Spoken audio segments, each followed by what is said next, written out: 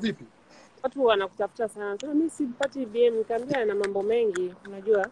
Pia na watu jifunzeni kuvalue service. Yaani issue ni kwamba muda ni kitu, yani kwamba unapata messages nyingi mpaka unachanganyikiwa. Haya maisha. Inabidi unasema? Umekuwa sasa. Inabidi waanze kuajiri watu kufungua hey, branch Denmark DM Scholar Denmark. Ya kuwa na kuwa na nani na timu sehemu nyingine nyingine zinasaidia.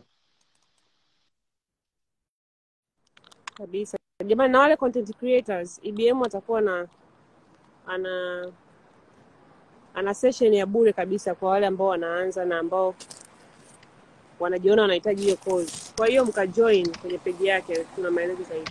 Kuna kuna ile peji mpya inaitwa East African YouTubers, watu wakaiangalie.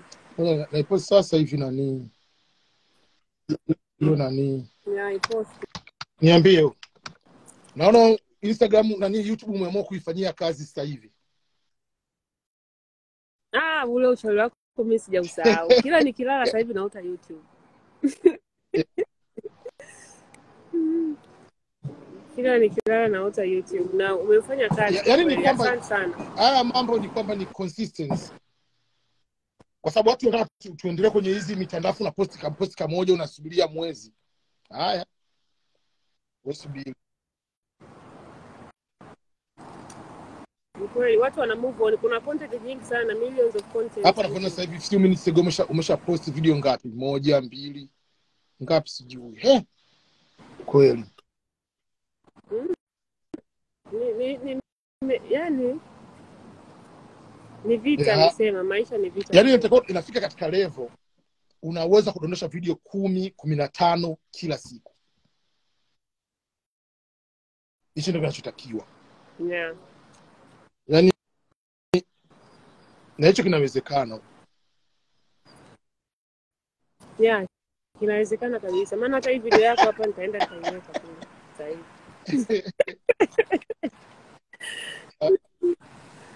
Yeah. hiyo post ya consultation nimeshaiposti.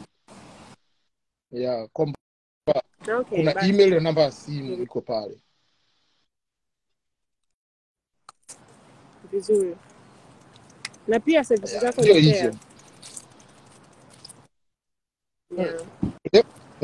Unasema Vipi application yako? Ina application yako? Kuna changamoto zilikuja ambazo hatukuzitarajia, kwa sababu nilikuwa natumia kampuni ya Nigeria ambayo ina uwezo wa ku, yani kwamba ilikuwa ina uwezo wa nchi kumi kulipia kutumia mobile system.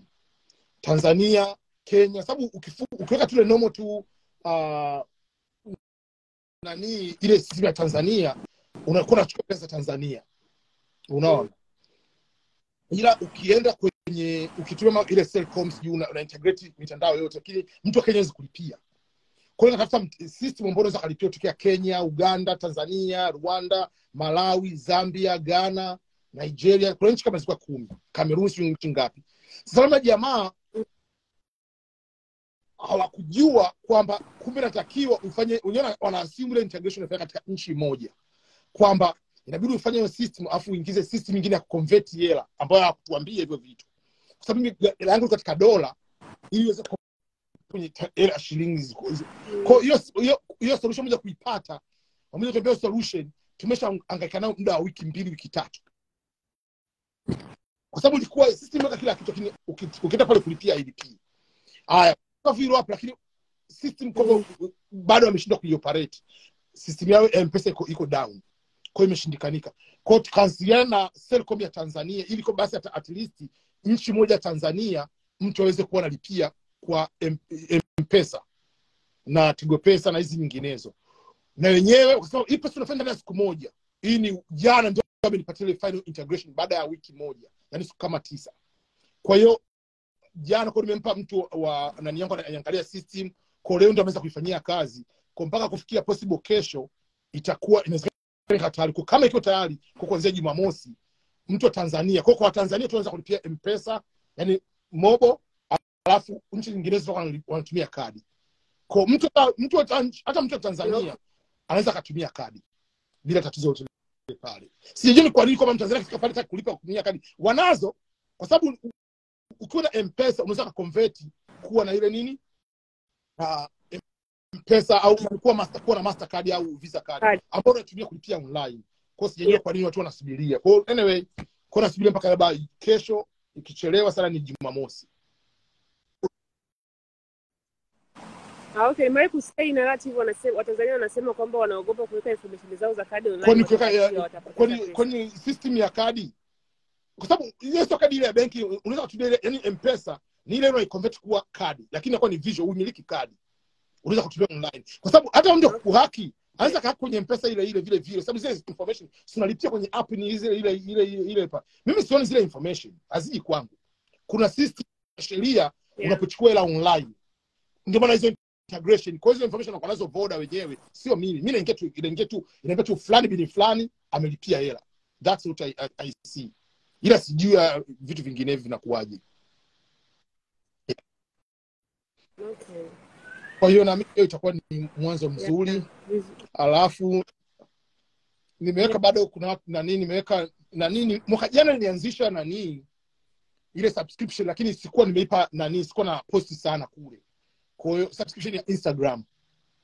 Ni kitu ambacho nataka ni wa Yeah. yani kwa watu ambacho kitu kingine nataka naweza kufanya specific live kwenye subscribed members. Unaweza kufanya hivi kwamba kama ka- unafanya live tano kwa wiki moja au mbili zinakuwa ni free alafu zibaki zote ni za paid members ambao ni dola moja kwa mwezi.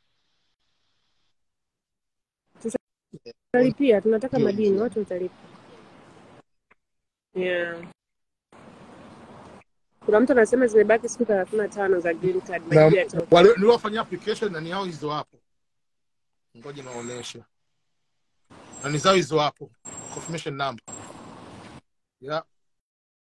Kwa Okay. wawe tayari tu kwamba wasubirie tu nani matokeo yakitoka wale ambao tunafanyia nita- nataka hizo zote taziangalia majibu yake ndani ya masaa machache sababu hapa sina hapa sina skrini tatu kwa skrini moja ya pili ya tatu kwa hiyo ndani ya muda mfupi unaweza ukafanya nani ile pale Mm, okay. lakini tunaamini watanzania wengi watashinda yaani hicho ndio kitu ambacho naamini kabisa maana wengi Yeah, the wakiomba more you apply, the more you win. yeah. Yeah. True. hicho ni kitu ambacho Yeah. kingine ambacho ni muhimu sana watu wakifahamu sio kwamba uh, nani sio kwamba uh, ukifanya utaratibu wa kusema kwamba tu waplai wachache nazani ndio mtashinda no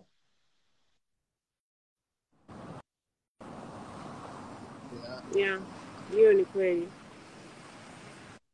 Yeah, na tunakushukuru umewaamsha Watanzania kwenye kuhusu kitu cha green card. Kwa kweli watu wamechangamka mwaka huu. Nadhani mwaka unaokuja ah, mwaka huu tena wataomba mwezi wa kumi, sio?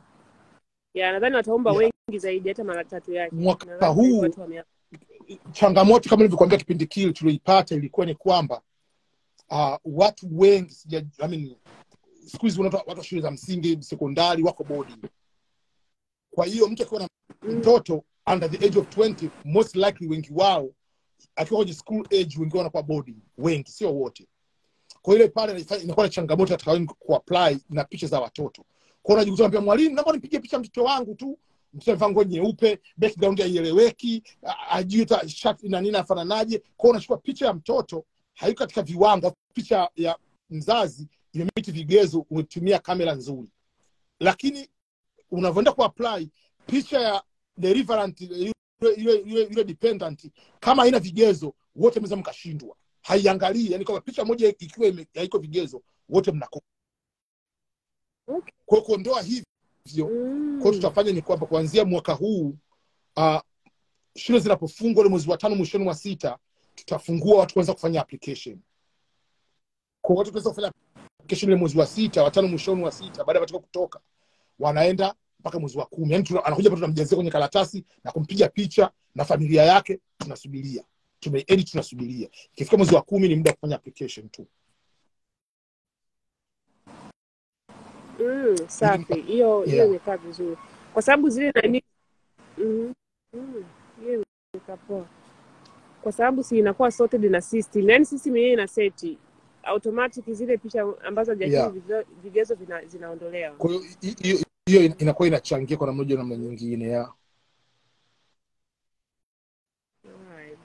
Ya, hilo jambo jambo zuri. Kuna mtu anakuuliza Mr. BM shikamoo, tunaomba matokeo yakitoka wale wanao watakaoshinda waende kwenye group moja. vitu vifuatavyo. Kitu cha kwanza wale walioshinda wote tutakuwa tuna closed group lao. La, kuingia mle ndani tunataka mtu mshindi. Lakini mbili Okay. tutafanya na na nini kuna wengine hawataki kujulikana ni wenyewe. Lakini vile vile nitafanya training ya on site. Kwa sababu ni kwamba ambayo ni kwamba watu wanakuja kuuliza maswali tu hapa, procedure zote bwana umeshinda? So these are the steps. Form hii hapa wewe elimu yako ni hii hapa andika hivi. Wewe una work experience. Experience yako ni hapa. Jina la correct terminology ya kazi yako ni hii hapa. Ko twende taratibu kuelimishana na watu ili kwamba wajue ile pale. Na then officially sa maisha ya Marekani yanaanzaje. Kwa tutakupa hizo ni free service ambao watu kujua hizo steps zote, tutawapa hizo training za namna ile pale waweze kujua, na wanapokuwa najuana inasaidia kupeana ile morali, bwana, mimi nimepata interview yangu lini, au makosa hapa nimefanya au nini, vitu gani, kutafuta nani host nini, inasaidia vitu vya namna ile pale.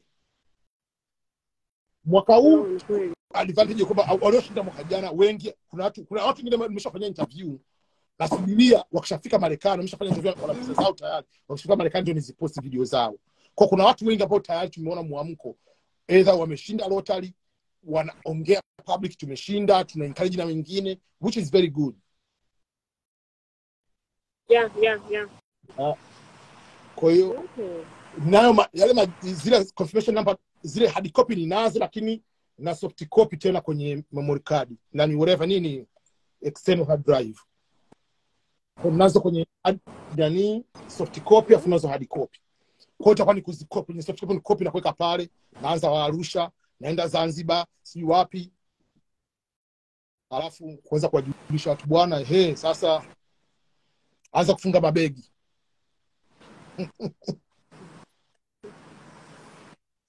Na waliokosa utawajulisha wewe Ah, no. au wataambiwa? kila mtu ana confession namba yake mwenyewe anaweza kaangalia. tunataka kila mtu aangalie yeye kama yeye ila mimi nitawaangalizia watu vile vile lakini vile ni kwamba uh, vile vile ni kwamba kwa sababu kuna wengine ambao hawajui kwa hiyo ni rahisi mtu akupigia simu bwana mimi nimepata unajua kabisa wamepata kina nani ambao umekosa umepata unamwambia yeah kwa hiyo Okay. hiyo inatusaidia kwa mtu ambaye ambaye hajui akitupigia simu tunajua alipata list aliopata ni hawa hapa au walikosa kwa hiyo inakuwa ni rahisi kuwaambia watu yeah Okay.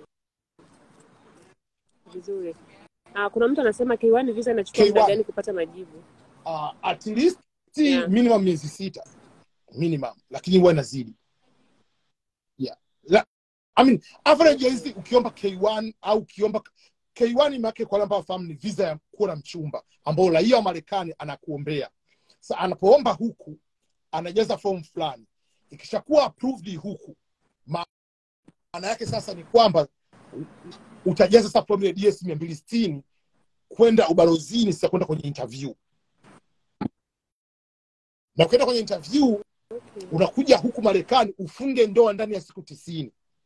Usipofunga ndoa ndani ya siku tisini, game over, you are illegal. Ndio maana kuna ile show inatoka inatoka 90 Mm. 90 days fiance sijui nini, ndio kwa sababu marriage license na hiyo sio kwamba ni yaani kuchukua marriage license ina expire baada ya siku tisini ya leseni ya kufunga ndoa. Okay. Na watu waga wanakosa hiyo visa au ni rahisi kupata? Kwanza, sharti la kwanza la K1 visa ni lazima huyo mchumba wako ambaye ni raia wa Marekani, green card hawezi ku- ku- kuomba fiance, Mm. lazima awe raia wa Marekani na muwe mmeshaonana at least mara moja face to face ndani ya miaka miwili. Okay. Sasa Yeah. kama mje kuonana face to face huwezi, unless otherwise kuna sababu za medical au kuna sababu gani, kuna complication mengi kupata ile approval bila kuwa mmeonana. Lakini kitu cha pili, inabidi muoneshe documentation kwamba nyinyi ni wachumba. Kwa kama mtu amekuja huko Tanzania, maanake mmeenda mmeenda mmesafiri mmeenda Ngorongoro, onesha receipt kama mlisafiri naye. unaona onesha picha Okay. labda ametambulishwa nyumbani kwenu unaona onesha picha mmeenda zanzibar hizo hapo sio mchumba hata picha moja hamna. Ah, unajua hapa hapa hapa hapa hapa. Kwa sababu lengo lao ni kumlinda marekani sija kapigwa. Ni kwamba uwezeka wewe kama Yeah. ndio lazima muonana sija kaonana mtu online akaambiwa ni yeye wako. kwa hiyo inawezekana ukanyimwa lakini ina- inabidi aliapply tena. Lakini ndio maana unaambia kuondoa usumbufu. Kama huyo mtu ameshakuja nchini kwako kama inawezekana yule mtu aje nchini kwako mfunge ndoa ya tanzania alafu kuombea moja kwa moja from day one unakuja kama mtu alafu ukija huku mtafunga ya huku tena ya marekani tena yani kama sherehe wherever mnazotaka kuzifanya yeah. Okay. kwa sababu ile ile ya kwa mke au mme ile huwezi kunyimwa kwa sababu document za mke na mme ni hizi hapa tofauti ya uchumba sasa no Yeah. nikiangalia wewe una miaka thelathini afu huyo aliofunga naye ndoa na miaka tisini lakini marekani ukifunga ndoa namna ile pale hawezi hawezi kuzuia ni mke, ni mke na mme huwezi kukataa ila mchumba unajua ah, hapa kuna huyo umemdanganya huyo mzee wa watu ila mkishafunga ni sheria maka amesha saini ile ni mkataba amesha saini kwamba wewe ni Mhm. nani kwamba huyo Yeah. ni, mme wako mke na mume. Vizuri.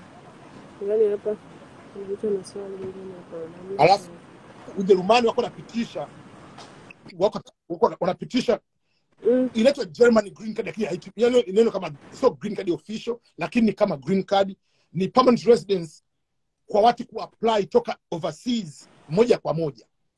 Kama vile kama unaomba express entry ya Canada. Oh, ndio nadhani wanapigia kula wiki hii mm, ni fursa nzuri hiyo video weekend. Yeah. yeah. ifanyie tunasubiri nadhani pia watu wame video ya mtu kuna visiting visa sasa hivi unaruhusiwa kuomba kazi ila ukipata uwezi kuanza mpaka mwajili wako anani akupe akuombee kubadilisha ile visa. Wow lakini wow marekani migration zao leo ziko friendly ni hazibani sana kama nchi nyingine. Yaani marekani yes. yaani ni kwamba unajua kwamba yes marekani wanaweza kusema tunazo sheria za kazi ziko tight lakini ubaya kuziimplement ni ngumu kwa sababu ni kwamba kuna federal alafu kuna state. Sasa immigration ni federal. Lakini mm. in a normal way polisi ni state ni polisi ni, ni state.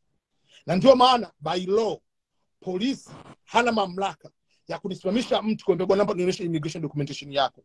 Haruhusiwi marekani. Unless others ilikuwa commit crime wamepelekwa polisi yes utafungua dokumenti zako zote wataangalia mpaka immigration status yako.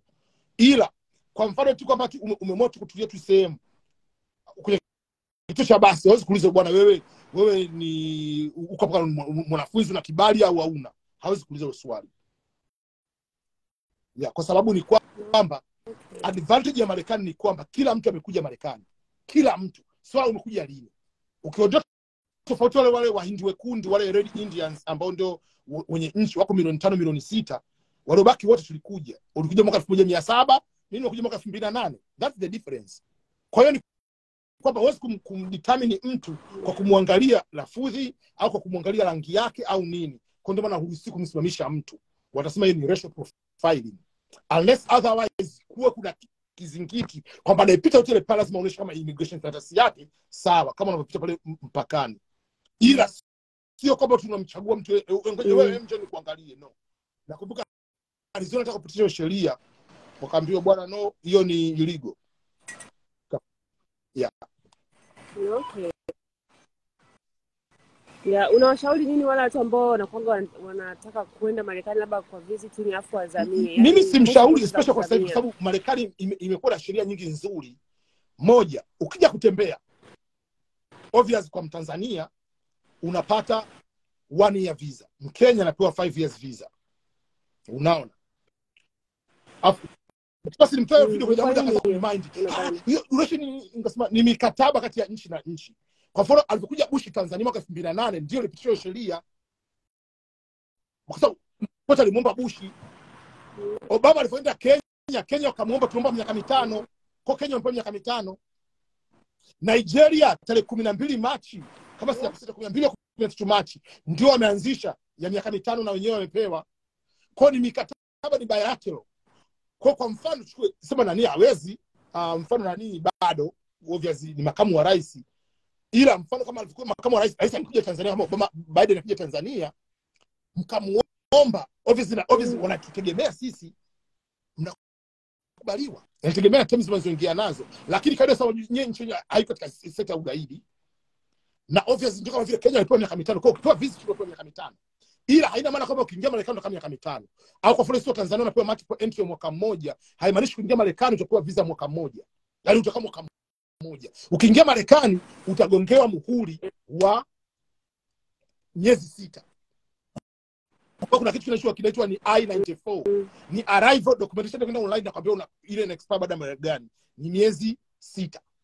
Baada ya miezi sita ndio utoke nje ya nchi. Ukitoka nje ya nchi then unaenda kufanya nini? Ukitoka nje ya nchi uh, ukitoka nje ya nchi unaruhusiwa kuingia tena Marekani. Kwa hiyo ni multiple entry, lakini mkataba ule ule wa Tanzania na Marekani ni kwamba Marekani akija Tanzania atapewa mwaka mmoja visa multiple entry, ila haruhusiwi kukaa zaidi ya siku tisini ndani ya nchi. Baada ya siku tisini anaweza aende Kenya, aende Malawi, arudi Marekani, aende nchi yote, alafu apande ndege arudi tena agongewe tena kuingia ndani ya nchi. Ndio maana mimi nikija Tanzania siwezi kukaa miezi mitatu mfululizo, lazima nitoke nje. Ndio sheria iko hivyo, kwa ndio bilateral agreement. Sasa kwa nini mkitizamie? Kwa sababu gani?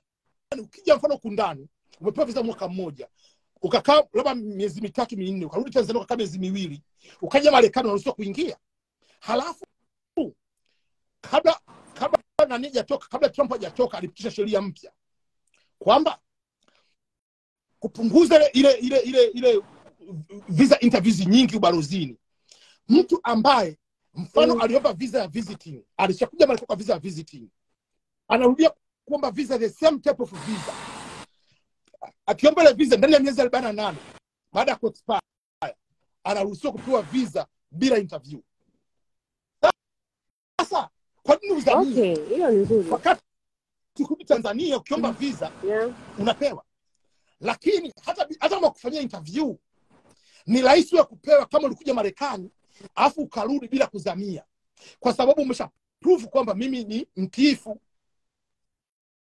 Unanipata mpaka pale?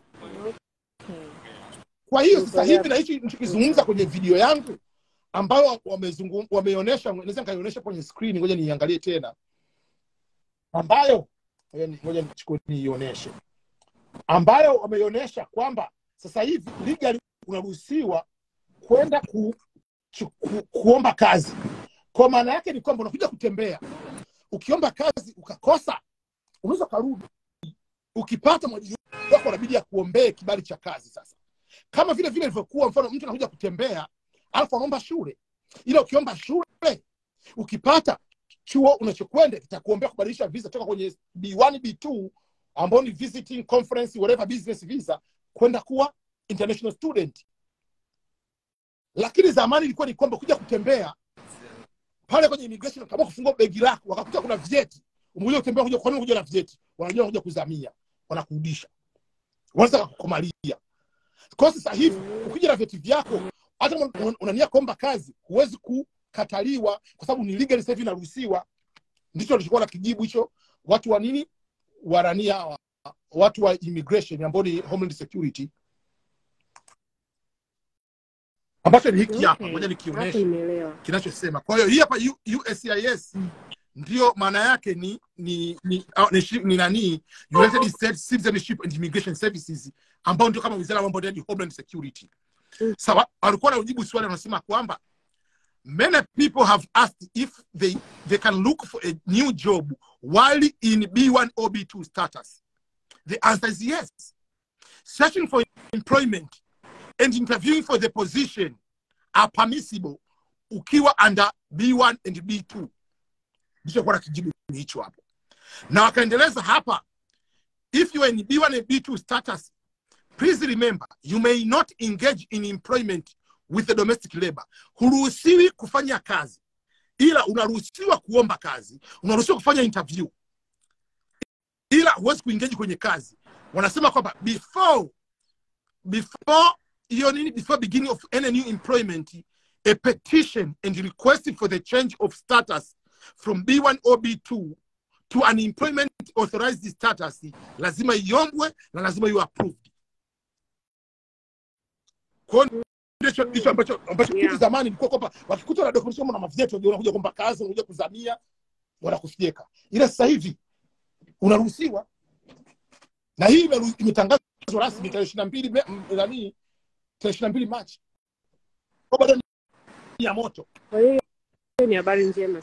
Yeah. kwa ndio maana yeah. una haja ya kuzamia na Unaisi... ukizamia ukashinda lotari kupati u- green card lotari ukishinda hawakupi unaona sasa kwa- usije ukaja kuja kutetea matatizo mengi baadaye ila ukija kutembea ukafunga ndoa game over Permanent.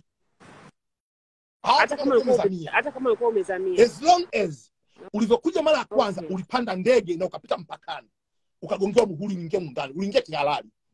Ila kama uliingia chini ya mwembe kwa hiyo sisi watu wa afrika ituhusu sana kwa sababu lazima tupite ubalozini tuje mpaka hapa. Ila inachukua kwa watu mfano mtu kama mexico Yeah. akipita kwenye mpaka aliingia iligo akifunga ndoa atatakiwa atoke nje kwanza afu ndio aingie kwa visa afu apewe apewe green card. Atapewa kwa sababu ukifunga ndoa hiyo marekani haijalishi utapewa. Ila ukiwa hata miaka hata ishirini iligo ukafunga ndoa utapewa. Hamna punishment yoyote utakayopewa.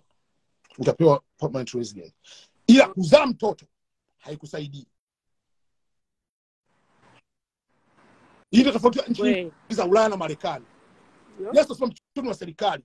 Lakini Yeah. marekani ni kwamba mtoto ana faida kwako kiimmigration. Akifikisha miaka ishiri na moja afunge ndoa na wewe. Akusponsor mzazi. Sorry yaani mtoto afikisha miaka ishirini na moja ndio akufanyie sponsorship mzazi. Chini ya miaka ishiri na moja yule mtoto Okay. hana impact yote ile kwako. Huwezi sema inabaki marekani kwa sababu mchongo anasoma shule ya msingi. No. Utaambiwa kama out of service unatoka urudi nchini kwako na mtoto uendelee nchini kwako. Kwa marekani hapo ukiweka kamtize mtoto huko huko unapotaka kukuoni huko huko ujiji jiji kae naye huko. Ila sasa Okay. Ah. kwa upande wa nani upande wa kama ujerumani. Ukazana mjerumani. Wako tayari wakuchukue baba toka afrika au mama toka afrika wakulete ujerumani. Wote mtoto awepo pale pale ujerumani. Kama mzazi ni mjerumani. Ni kweli. unao Mhm. Kwa Utoki naye. utapewa immigration utapewa residence Yeah. ukae pale sababu msaidie kutunza mtoto. Ila marekani no. Na hiyo tunaambia watu watofautishe kwa sababu unaweza umepata story kwa concept ya ujerumani alafu nakuja ukiwa na mimba ukizaa mtoto yes utapata shadi support huko afrika unaweza ukapewa lakini nani upewi hutopewa ile mpaka mtu miaka ishiri na moja. Ila ukafunga ile ndoa hiyo ni garanti Hapo nimekuelewa. Kuna mtu anasema uh, anasema afadhali Mama Samia ametubeba kwa mama mkubwa leo, rais wa Marekani, kuwa tupatiwe visa ya muda mrefu. Okay, kama mama amesema ni jambo zuri. kama amesema yeah, sasa maana maanake ni kwamba kama ameomba tunapewa miaka mitano kwa sababu yani Wow, Marekani hapo ina good bilateral agreements, good friendship na Tanzania. Ni kwamba sio kwambia, ni yani kuomba tu. ngoja nikwambie kitu kimoja, uzuri wa mfunga ndio na na, na, na mzungu. Western usiposema kitu hakwambii. Yani unajua kibongo bongo tuna tabia za kizamani zile. Si chema cha jiuza, kibaya cha jitembeza. No. Una njaa, mimi mimi Faustino sio naambia ana njaa simpi chakula. Mpaka naambia na njaa. Eh. Of- You want to eat, tell me you want to Ma- eat. Eh, ni kweli. True. Yeah, that's right. Kuna mtu anasema habari kaka, eti ukishinda No, no, unapewa no, no, sehemu ya no, no. Jojo Beauty. Ngoja niwaambie kitu kimoja, watu wafahamu. Bwana, green card ni dude moja kubwa mno, more than you can imagine. Mtu akapewa bwana, mimi permanent residence, mtu anaweza kasuta miaka kumi Marekani hajaipata hiyo, trust me. Kwa hiyo watu wanafunga Okay. ndoa za uongo, wanalipa dola elfu ishirini milioni hamsini milioni themanini ndoa ya uongo ili aipate hiyo kadi. We, Wewe unapata by lottery, pa umepewa, hakuna sehemu ya kukaa kufikia. Jukumu lako wewe ni kutafuta kwanza sehemu utafikia ni wapi. Maana yake ni nini? Maana yake anza kunifollow mimi subscribe anza kunilipa mapema mapema. Ila ukishinda usema uje ukisema bwana nitafutie ile- ah, huyu jamaa kwani huyu jamaa kile ni, ni, ni follow wangu? Sasa wewe kunifollow mimi. Wewe umfollow witness umfollow mtu wa ugaibuni unamfollow mama dangote. Haya afu umeshindwa unataka kwenda ugaibuni atakusaidia ni mama dangote. Mfollow mama dangote pata udaku wake ni follow na mimi. Hicho kitu cha kwanza. Anza kufollow watu wa ugaibuni ujifunze vitu kwao. Kuwa na comment una create a good some sort of friendship. Maanake siku kitokea hata kama mimi nisiposhindwa kunanii siwezi kuhosti naweza nakuombea kwa mtu kitu kuna jamaa mmoja aliniomba online basi zini nilikuwa niko Tanzania tukaonana naye. Nilivyoonana naye akampata host moja North Dakota ambako ni baridi moja matata mno. Nikamwambia huko ni alimwomba kama sio ni mzungu tu mwingine. Mm. sasa huko ni ngumu. Ngoja nikwambie kwa Robert Elias yule ambaye ni mtu wa Kigoma na ambaye ni jamaa familia naye. Nikamwombea jamaa sana "Ah, mwambie aje kwa Arizona. Ko akamchukua mtu. Ko jamaa amemchukua kwa sababu nafahamiana naye mimi. They became good friends maisha mpaka sasa hivi sasa hivi jamaa na miaka huyu jamaa na miaka mitatu Marekani tayari. Kwa ni kwamba kitu cha kwanza anza kutafuta watu online. Yeah. Mbili ukishinda usiwe na aibu kusema kwamba kuna ukienda kwenye facebook tunatumiaje mtandao. Naenda facebook andika tanzanians in, in, tanzanians in, the, in usa kuna kundi liko pale. Nenda mle ndani andika bwana mimi naomba kuwa mimi nimeshinda green card naomba mtu anisaidie nifikie nyumbani kwake kwa muda mwezi mmoja tu afu nitafuta pa kufikia then niandikie mimi umeshinda na, na, na kurekodi video natuma kwenye makundi kuna makundi ya whatsapp ya watanzania huku ndani. Kuna viongozi na bwana huyu mtu anatafuta mtu. Mtu kwa bwana kae kwangu muda wa wiki mbili for free. Afu wewe utafute hela yako ya kwanza kupanga mwezi mmoja miezi miwili ya kuanzia. Inawezekana? Haya wewe wewe mfano mfano kama ni- Okay. wewe, ni Sabato. makao makuu ya sabato si yako yako Maryland umeandika kwenye- mahakama kuu pale Maryland pa kuandikia pale bwana mimi mimi ni msabato mwenyewe SBA, nimeshinda lottery. Kuna mtu mmoja atashinda kuni- yule pale. Wewe ni muislamu. Mwezi ramadhani tena basi hapo unashinda unashinda kuandikia association ya waislamu pale Minnesota. Bwana mimi nimeshinda lottery. Na bwana muislamu mmoja aweze kunihost share atashinda kuhost wewe kwa muda wa wiki moja mwezi mmoja. Wewe unasema mimi ni mkatoliki umeandikia padri wewe ni Mwanglikana. Kwa- tumia hii mitandao in a positive way. Unaweza ukapata mtu usiofie hilo. Yaani usije kaofia kwamba nikishinda nakosa hosti. Host host itapatikanika. Kikubwa wewe ombea tu dakika za mwisho siku thelathini na tano ushinde hiyo lottery. Hivyo vitu vingine vitapatikanika. Na hata kama umeshindikanika kabisa unafanya kitu niki hapa. Naomba nifikie nyumbani kwako. Nani? Naomba nitumie adresi yako ila sifikii kwako. Kwa hiyo kwenye application ya form mimi ni host wako. Kuna mtu wa zambia anatumia adresi yangu? Lakini hata fikia kwangu. Ameshaniambia nimtafutie mtu ambaye ana apartment ya dola elfu moja mia mbili. Kwao natafuta mtanzania ambaye ana apartment. Nimtafutie. Kuna mwingine mtanzania ametumia adresi yangu lakini nimeshamtafutia am- hoteli ambayo kuna hoteli moja ambayo cheap ambayo haiko mbali sana nyumbani. Atafikia pale kwa muda wa wiki moja watu nimetafutia apartment. Ila kwa you can do that too. Ila huwezi kuacha tu kuapply eti kwa sababu sina host. Yani ni mambo kwamba wao usiende Dar es Salaam eti kwa sababu huna seme- una, kufikia. Sasa hela yako. Uza simu yako ulionayo. Kweli. Mimi- mimi huku kwangu sioni comment yote ile Yeah, ndio maana nasikia unitajie sijajua ni kwa nini. Yeah. Ah, okay. Anasema ya kwa mtu anasema BM nasikiliza hapa, mnatupa madini ya moto, asante. Kuna mtu anasema Jose anasema my experience I'm a chef cook, chef cooker. Nilikuwa nauliza kama nitapata visa ya volunteering kwenye hotels huko US. uh, kama ni mpishi the best bet anza kutafuta kazi kwenye nani kwenye Royal Caribbean zile yale mameli makubwa yale ile ni rahisi na kuna video Okay. Stanley ambaye ni Mtanzania alifanya kwenye kazi ile zaidi ya miaka mitano ameweka pale ameelezea kila kitu procedure zote iko video kwenye channel yangu. YouTube hiyo video. hata kwa Instagram nadhani Okay. kavaa shati Watu jekundu wakaiona. kwenye video ya interview kafasha tu jekundu hiyo video nilipost around nadhani kwenye mida ya November. Okay. kwa hiyo mpaka nimetoa namba yake ya simu jinsi gani kila kitu. Kama ni mpishi. Yaani mpishi kuja kwenye kwenye hoteli za kale inawezekana lakini ukipitia kwenye meli mameli demand ile ni kubwa Mm. Okay, kuna mtu Betina anasema ipo. YouTube, atakuwa ameshaiona. Jamani, ipo instagram ipo mkaangalie. yeah. Kafa- angalia tu mtu amepata tu jekundu Mm, vizuri. Ah, yeah, Miss Katola anasema mimi host wangu yuko Ah, New York. Naogopa ni Kwa kitu kimoja ni hiki hapa nachoambia watu kwamba kuna vitu viwili moja ukienda katika jimbo fulani haina maana kwamba utakuwa unataka uishi milele kama unataka kuhama unaruhusiwa kuhama. Hicho kitu cha kwanza. Kwa sababu kama una green card unaruhusiwa kutafuta kazi sehemu nyingine. Jimbo lingine ukahama. Lakini mbili Yeah. mtu ukipata hosti yuko new york anza na yule pale wa kwanza. Lakini tafuta na mwingine wa majimbo mengine kama you are okay kwenda kwenye majimbo mengine. Lakini vile vile hatuna maana kwamba new york kwamba hamna mtu anaweza kaishi no. Sema gharama ni kubwa. Yes. Okay. Celine anasema uzuri wa ughaibuni ni nini? nijibu honest au nijibu kwa, political correct? Ngoja niambie kitu kimoja.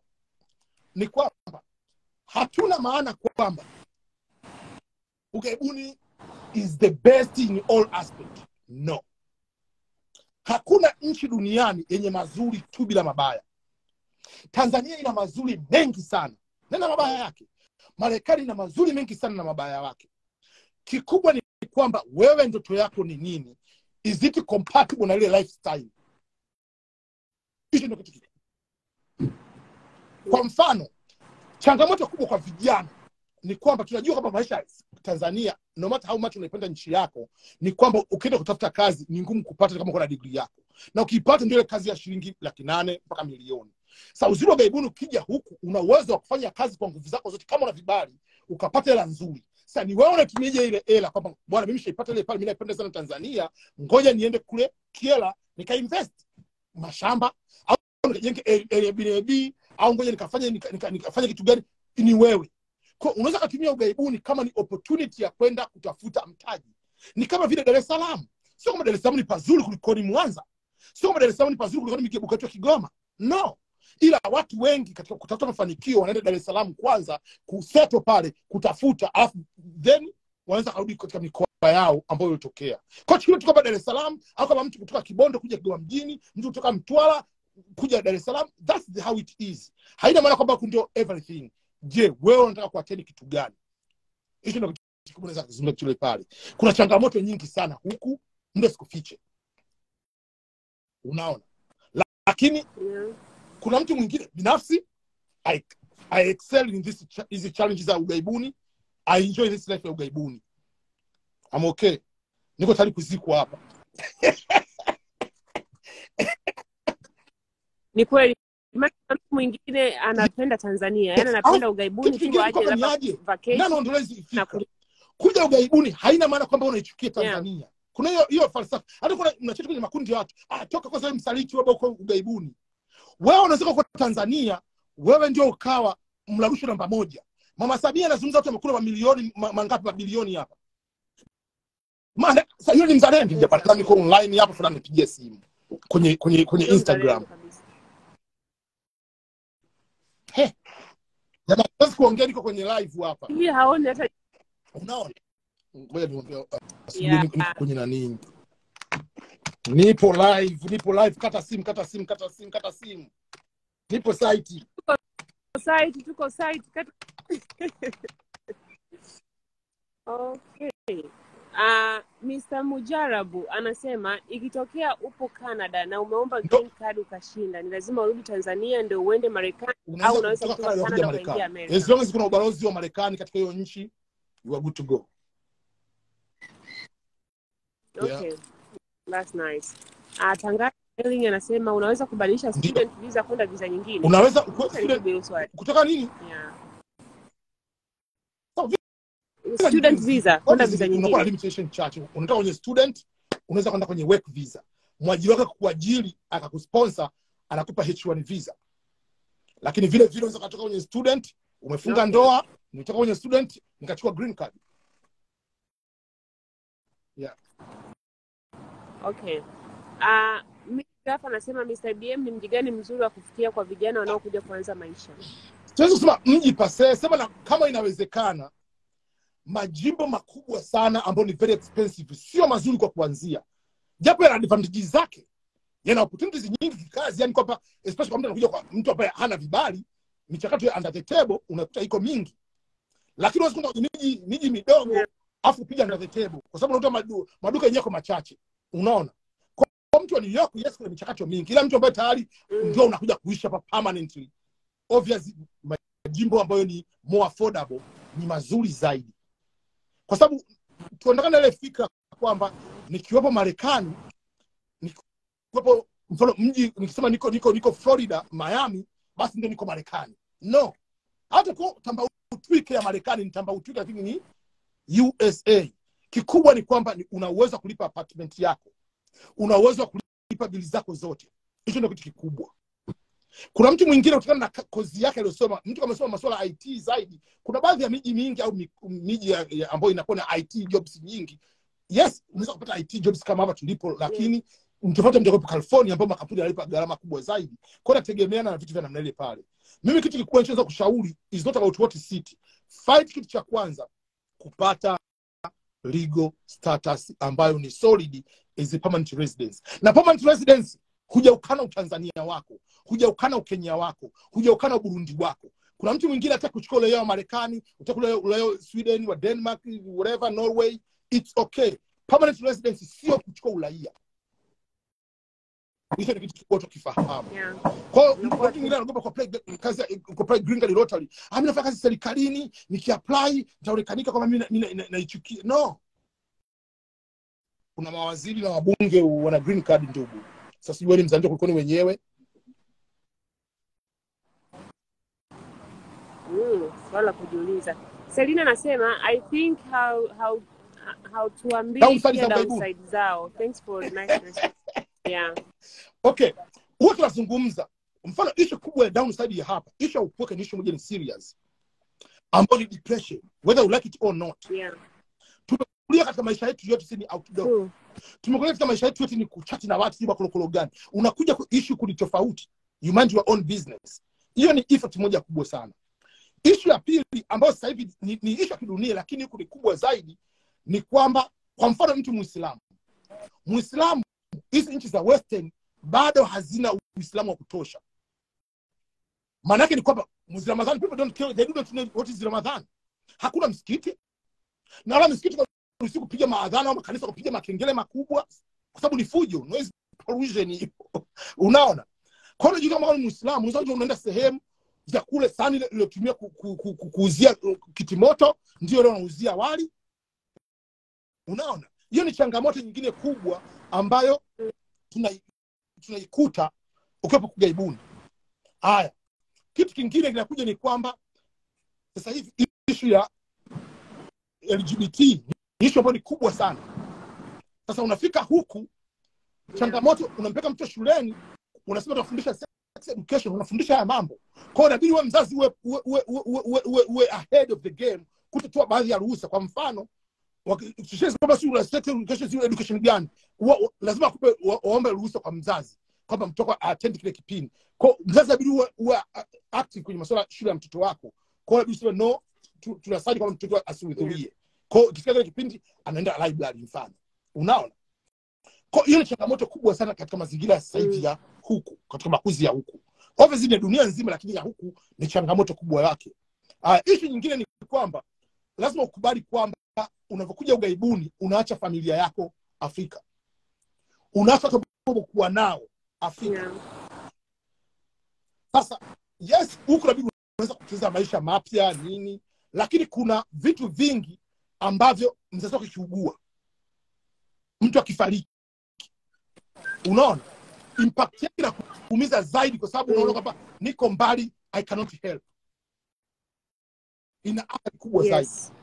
Unaona Yeah. kwa hiyo hizo ni athari za namna ile pale Kweli.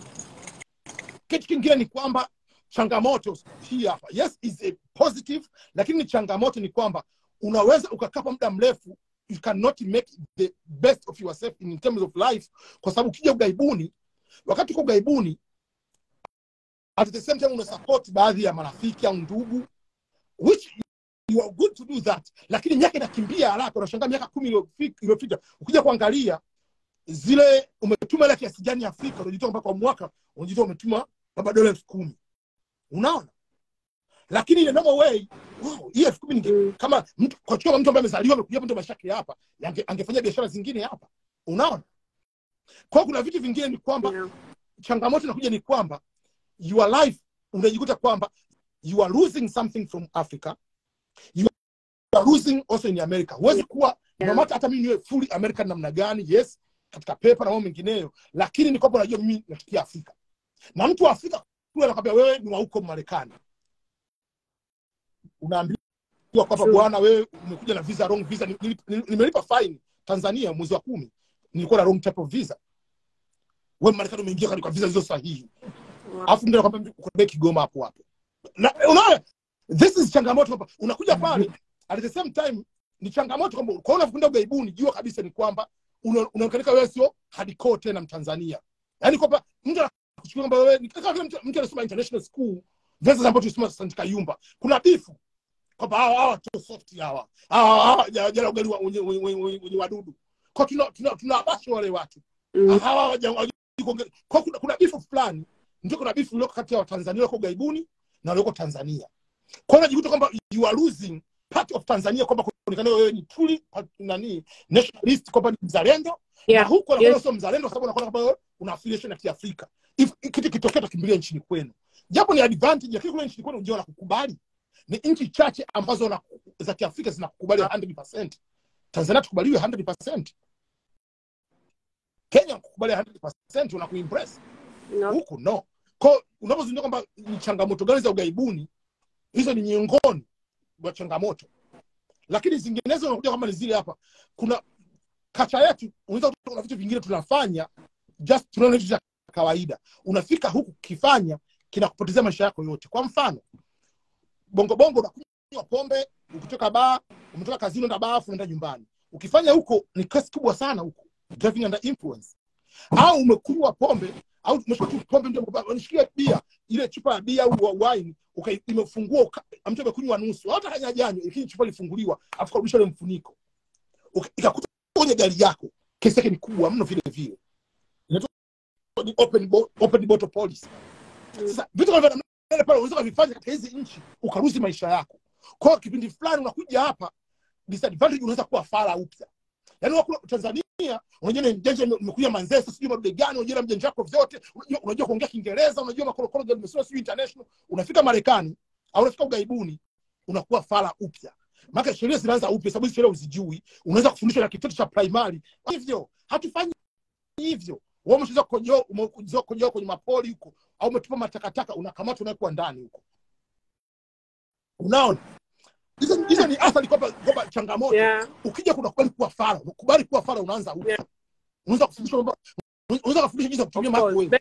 Kuna microphone zingine ma- na m- m- un- hii mbona sijui hizi namba zake zilivyokaa Una- unakuwa fara upya. Unaenda kufanya kazi unabidi uanze kupiga boksi upya. Unaanza kufanya kazi. Supervisor wako ni kipumbavu tu fara tu wa high school wa huku anakuwa supervisor wako. Sio kwa sababu ni mzungu sababu anajua ile culture ya hapa. Ana experience ya hapa wewe huna experience. yes una experience ya miaka minne ya kazi lakini kazi yenyewe ni ya nini? Ya kutumia kutumia kutumia kutumia android. Na mas, una, kwa, unafika huku order inachukuliwa tutata kwenye iphone. Wewe unja kugusa iphone. Haya mimi mwenyewe mimi sasa hivi miaka miaka 15 Marekani. Najijua kwamba ni sina accent ya Kimarekani. Siwezi kujipeleka kimbele mbele tukufanya kazi ya kwa eti napigia simu eti customers ile pale. Fanya upumbavu huo. Maka unaweza kaongea unaongea kitu gani? Basi kuelewi unaweza kumanja hao baguzi hamna sio baguzi hawakuelewi. Unajua? Ukikaa mwezi wa kwanza hapa ukutana na black american anaongea kiingereza. Man humwelewi hata kidogo. Ile kwamba inakuwa kisaikolojia. Yani kwamba hivi vitu kuna vijivu kwa- sijui kiingereza. Unaweza kajiona kama mdogo wa piritoni kwa hiyo ni kwamba yes sio Yeah. kwamba ni, ni rose kila kitu ni kizuri. No. Changamoto ziko ila kikubwa nachoambia Yeah, watu ni hiki hapa. Never lose yourself. Never forget yourself. Umekuja kufanya nini? Nimekuja kufanya maisha. Kama kuna mtu mwingine kuna mtu kuna makundi mawili. Kama mimi nakuja kukusanya hela kwenda kuinvest Afrika piga box kama kama unachanganyikiwa. Kusanya hela ka invest. Lakini kwa mjanja unakwenda kuinvest sio tunasikia tu bwana leo ma, nani mayai ya kwale yanalipa leo unaweza kufuga kwale. No Ka, nenda mwenyewe manual kule kaanze kutafuta jinsi ya kufanya investment za kueleweka. Kama unaamua kubaki huku invest yeah. kweli. Sio unabaki huku unaishia una, una, una unachapika. Ukirudi afrika umechapika. Chapika sehemu moja. Kama unaamua una- kufanya unaenda kuinvest kule au unabaki huku basi uwe katika piki kwa hiyo ni kwamba sio kwamba kwamba tunazungumzia kwamba ni mazuri tu. No. Kuna mabaya kuna changamoto nyingi mno. Ila ukifika baada ya muda fulani kuna vitu vinaweza kuvizoea. Kwa mfano mimi mwenyewe sasa hivi niambia bwana em, twende sasa hivi nje nikafanye nini? Na mwezi mzima nimetoka ni kutoka ile kote kama zaidi ya kama hivyo ndio kuonesha siku moja hapa nje. Ile nimefanya ni, ma- ni two times tangu tangu tangu April tangu uh, March 7 mpaka leo mwisho wa mwezi nimefanya two times. Ile hapo nikuta tu nyumba tatu baba nimepeka Mm. care nimerudi. Nje hapo nimekaa ndani. Sina mpango kutoka nje. Claire na umwe hajaenda shule mpaka mali yote hapa sijatoka hata nje. Hata kujua hali ya hewa ikoje huko nje. Sijatoka. Sina mpango wa kutoka siku nzima. Kwa hiyo kuna vitu vya namna hiyo hapo yes. Tuna mazuri lakini kuna mabaya. Yani kubaliana hicho kitu. Yeah. kwa usije na mawazo kwamba bwana nimekuja huku basi kila kitu huku uh, maisha Marekani hivi na hivi na hivi. No yeah. Ni kazi. Yeah. Jose anasema nimeelewa vizuri shida hizo cruise ship wakitangaza hizo post huwa sizioni na Ukienda- post ukienda kwenye? LinkedIn kwanza ukienda kwenye LinkedIn kama anayo. LinkedIn account aende kwenye mfano Royal Caribbean huwa na posti account posti zao kazi nyingi wanaziposti kwenye LinkedIn account yao alafu unaenda kwenye official account yao vile vile Okay. lakini vile vile ni kwamba uh, ndio angalia ile video. Jamaa alizungumza kwa chini ile website alizungumza kuna, kuna specific kuna kuna sehemu unabonyeza sijui nini alitoa maelezo. Jinsi hizo ya cruise ship ya. Wakaangalia hiyo. Kikubwa tu angalia hiyo website sahihi. Kwa sababu ziko Yeah. nyingine sio- zingine zinasaidia tu kufuata kazi ya equipment lakini sio official. Ile cruise ile yenyewe ile ya kampuni husika Okay, yeah. Selina alikuwa anasema I just want people to speak both the good and the downside as well. Yeah. Ambazo ameongea. ila Asante. mimi Ah, mazuri ni mengi anasema mimi I have to be yeah. Kila mtu ana experience yake pia. Yeah. Mimi Alpha anasema je, expenses za kuishi Florida ni kubwa au ni fair? ni kubwa kutegemea unakaa wapi florida hakuna snow ni kama vile california ila advantage ya florida inategemea na ukiwa Okay. karibu na miami miami beach ni expensive. Kuna sehemu zingine bado ni, ni, ni affordable. Ni kama vile kuishi texas. Yani sio expensive sana lakini still kwa one bedroom kwa dola elfu moja kwa hali ya hewa namna ile pale that's good. Tofauti na mfano california one bedroom unaweza kama elfu moja mia sita labda minimum. Lakini usikae karibu na bahari Okay. kwa florida. Okay. Yeah, Tangaza anasema Mary anasema USA Yes. gun violence is a big challenge. Yeah. Miss Kaliza anasema visiting visa currency Yes. nyingi wanatoa ya one year, lakini unapofika airport ya Marekani unagongewa stay ya six months. So ukipata company itakayoweza kukupa working visa, wao watakupatia documents zao. kutokana na ile mkataba wao kama ni ya miaka miwili utapewa miaka miwili ni kama ukiwa mwanafunzi mfano kuja kufanya phd utapewa visa ya mwaka mmoja kinachofanya ukae marekani sio ile visa ya mwaka mmoja. Ni i20 ya miaka mitano. Kwa hiyo ukija kufanya kazi ile mkataba wa kazi ile mwajiri anakwenda kuwasiliana kule akupa kama ni miaka ndio anaenda kudili na ile kwamba huyu atakupa kama miaka miwili. Kwa hiyo utapewa extension ya miaka miwili badala ile actual visiting visa duration. Okay. Ah, Selina anasema ukiwa na permanent residence, do you no, need a visa back to Tanzania, Tanzania? kama kawaida kwa ukija tanzania una- unaonyesha passport ya tanzania. Wakati wa kuondoka unaonyesha passport ya tanzania ukifika marekani kuna mistari miwili. Mstari wa kwanza unaitwa us citizen canadian citizen and green card holders. Wanaenda kwa mstari wao alafu visitors yani citizen wa other countries wanaenda mstari mwingine. Kwa hiyo ukifika pale unaonyesha green card yako unaonyesha na uh, passport yako unaingia. Kwa hiyo unaingia marekani kama vile unaenda chooni uhitaji chochote kile pale. Ila ukienda overseas Okay. usikae miezi sita. Ukiwa na green card. Ukaa sita ime expire. Oh, okay. yani ina- unaifuta. Unless otherwise ujaze form inaitwa advance parole form upate permission ya kukaa zaidi ya miezi sita mfululizo. Yeah. Okay. Ikiexpire maana inabidi uombe visa nyingine inaitwa returning green card holder. Utalipia dola mia tatu mia tatu thelathini watakupa visa ubalozini utakuja huku marekani afu ndio watakuprintia green card mpya Okay. Yeah, Miss Kaliza anasema yani Marekani ni do right things at the right moment and place. Surround yourself with the legit people, lakini pia omba Mungu akulinde kila utakapokuwa unaingia hapo. Kwa namjibu yule mtu wa alafu kitu kingine ni kwamba uh, yeah. marafiki ugaibuni ni kwamba sio kwamba kila mtu kwa sababu tu anakula ugali ni rafiki yako kwa sababu kuna hiyo hiyo mentality mnakula Yeah. ugali mnakula chapati pamoja ndio shuga yako kwa wanawake aume mna- ah, bali sijui nini. Ah, ah. moja yes kuna marafiki immigrants wa nchini kwako immigrants wa nchi nyinginezo lakini hakikisha na marafiki maraia wa ile nchi. Lengo kubwa surround yourself na watu ambao kwanza wanafanya mambo mazuri katika pili tofauti tofauti ujue michongo ya pale. Mm. so akuja hapo kazi yako ni kupiga kila siku um- umemaliza ume- umemaliza kuangalia nani uh, vi- vi- vituko kwenye instagram vya watu vya kiswahili vyote una, unaenda kwenye youtube za, za kiswahili. Yani kwamba asubuhi mpaka jioni wewe masaa ishirini na nne una- ni kiswahili no. Umeangalia news za nchini kwako. Umeangalia kutu za nchini kwako. Umeangalia jinsi ya, ya kununua nyumba nchini kwako nchi iliyoko katika ugaibuni kwa nchi iliyoko. Umechukua jinsi gani ya kununua kuchukua mkopo wa gari mpya mkopo wa biashara retirement zinakuwaje jua system ya nchi ile pale kwa kuongea na watu na kuzisearch mwenyewe ili uweze kufanya informed decision kuliko kupiga story tu na kila wakati na immigrants wenzako masaa yote ni immigrants mpaka unachanganyikiwa Ni kweli. Ah, Beltina anasema mimi ananifurahishaga sana huyu baba anaongeaga ukweli eti anachamba. Eti wewe unasema una, unakuaga ndio kweli huo lakini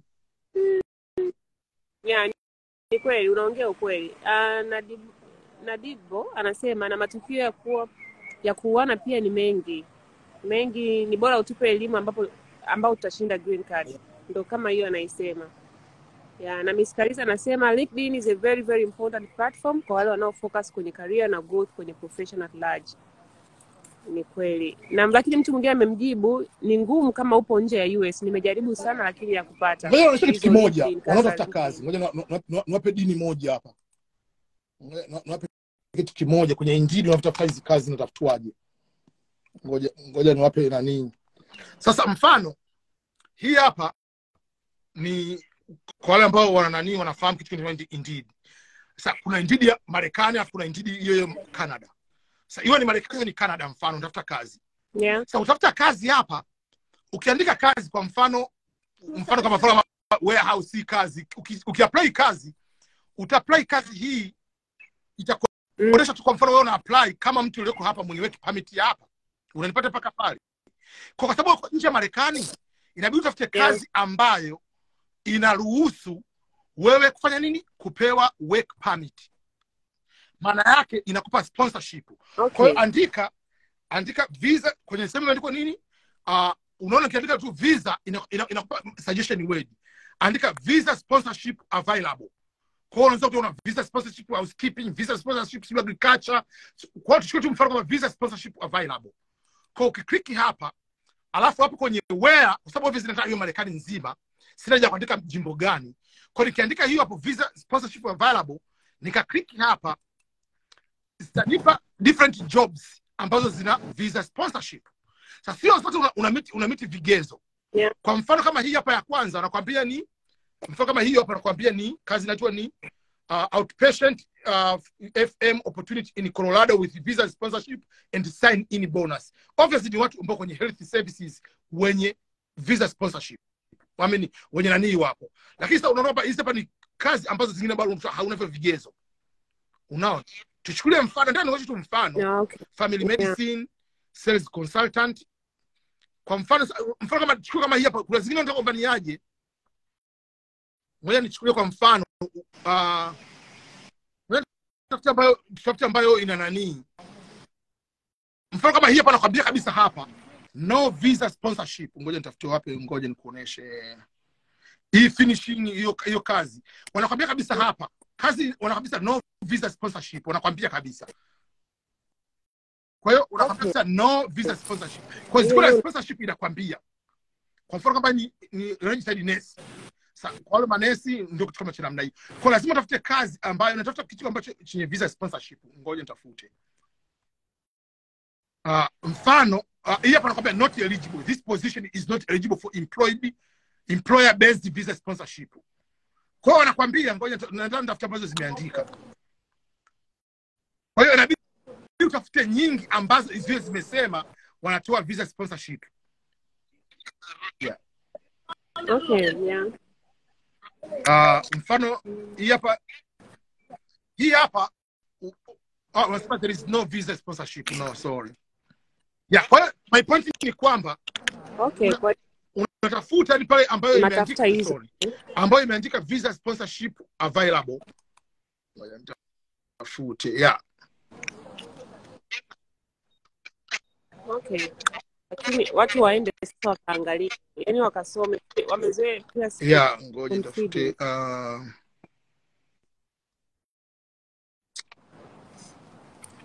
Mkiona nimepotea jamani, simu yangu itakuwa imezima moto.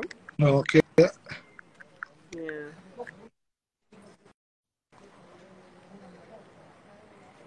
yeah. ya kwa hiyo ndio kitu kama cha namna hiyo ngoja kukionyesha tu kwa haraka haraka ni watu wafahamu kwamba unapoenda kutafuta hizi kazi ukiapply tu hivi hivi utapewa kazi kwamba tupewe permit hauna kwa utafuta kazi ambayo mwajiri amesema kwamba I will sponsor someone sio hapo sababu naangalia haraka haraka lakini kwamba nikiangalia kwa muda ukizisearch hapo unazipata ya huwa zinakuwepo Okay. Asante. Watu waende jamani Indeed huko mkaangalie. Ah, okay. Kuna mtu anasema kuna mtu alikuwa ameniuliza swali, qualification za mtu kupewa visiting visa ni zipi? Umeshafanya hiyo interview? Umeshafanya hiyo video Ah, kwa channel yako? mtu kupata visit Visa, right?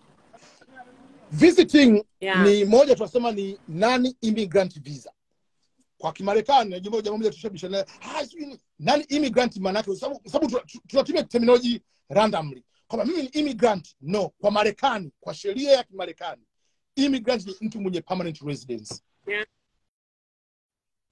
ndio maana yake. Na ndio maana visa wamezigawa katika makundi mawili. Wanasema immigrant visa na nani immigrant visa. Immigrant visa ni kama vile umefunga ndoa na raia wa marekani au umeshinda green card lottery. Ndio maana unajaza fomu mia mbili sitini kuja marekani kupewa permanent residence. Unakuja kuwa permanent wa marekani. Wewe ndio immigrant.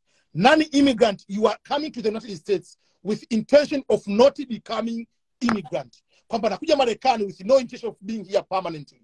Unakuja kusoma unakuja kutembea unakuja kutibiwa unakuja kwenye mkutano unakuja kufanya kazi. Visa unapewa kama ni miaka mitano visa ni ya miaka miwili. Maanake intention utarudi nchini kwako.